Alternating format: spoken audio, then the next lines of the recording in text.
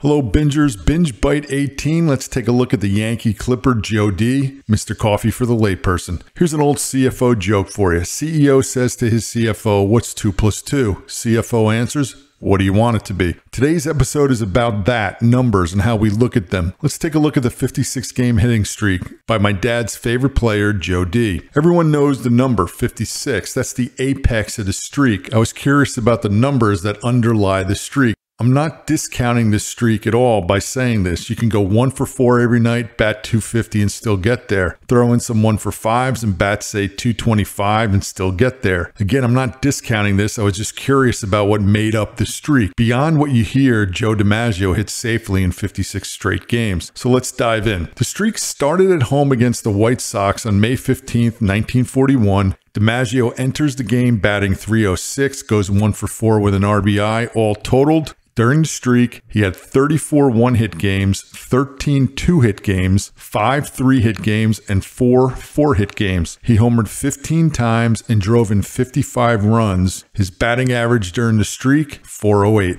One key to keeping the streak alive is to put the ball in play, which Joe did. He struck out a total of five times during the 56 game hitting streak, and that was across 244 plate appearances. What is another hitting streak killer? The walk. In 18 games, he drew walks. How many times did he walk? 21. July 17th, 1941, the streak ends. Joe D goes 0 for 3 on the road against the Indians, loses an at bat to the walk, and grounds into a double play his last at bat. Streak ends with him him hitting 371. Now, here's a little known fact about DiMaggio's season. He starts a new streak the day after 56 ends. July 18th, 1941, he goes two for four, proceeds to hit safely in 16 straight. He ends that streak batting 381. Overall, heck of a season for DiMaggio. He bats 357, 30 homers, 125 batted in, and an OPS of 1,083. In 617 total plate appearances, he strikes out only 13 times.